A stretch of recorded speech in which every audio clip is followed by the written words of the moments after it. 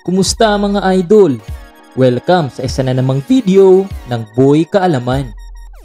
At sa video natin ngayon, ating pag-uusapan kung sino nga ba si Boss D o mas kilala bilang Dina Wong. Pero bago yan, huwag kalimutang mag-subscribe at i-click na rin ang notification bell at piliin ang all para updated ka sa bago nating mga uploads. Maraming salamat! Sino nga ba si Maria Dina Isabela Albizo Wong o mas kilala bilang Dina Wong? Siya ay tubong Cebu, ang 24-year-old na volleyball player na si Dina Wong. Nagtapo siya ng elementarya sa St. Teresa's College at high school sa University of San Jose, Recoletos. Noong March 2015, napili si Dina bilang bahagi ng Collegiate Varsity Seniors Women's Volleyball Team ng Ateneo at opisyal na naglaro bilang rookie noong 2016. Nagsimula siya bilang libero ng Ateneo Lady Eagles sa University Athletic Association of the Philippines o UAAP Women's Volleyball Tournament Season 79. Naging setter siya noong UAAP Season 80 kung saan itinangal siya bilang best setter sa pagkatapos ng tournament.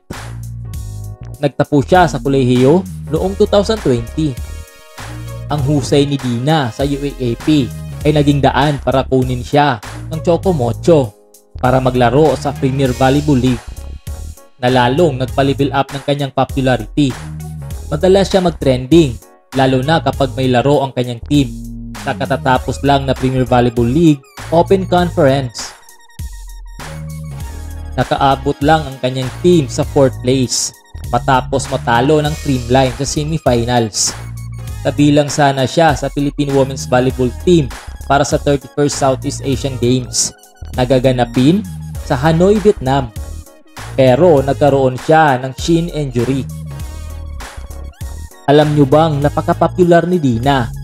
Mayroon siyang 1.2 million followers sa Instagram.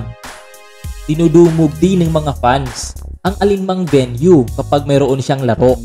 Noong April 18 ay ginawaran siya ng parangal ng local government ng Minglanilla bilang isa sa most outstanding millennial nahon ngayong 2022.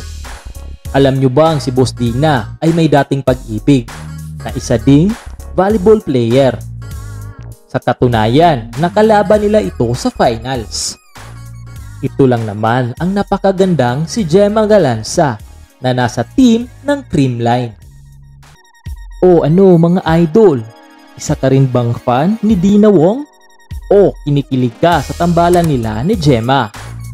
Muli kung nagustuhan mo ang ating video, huwag kalimutang mag-subscribe at i-click na rin ang notification bell at piliin ang all para updated ka sa bago nating mga uploads. Maraming salamat. God bless!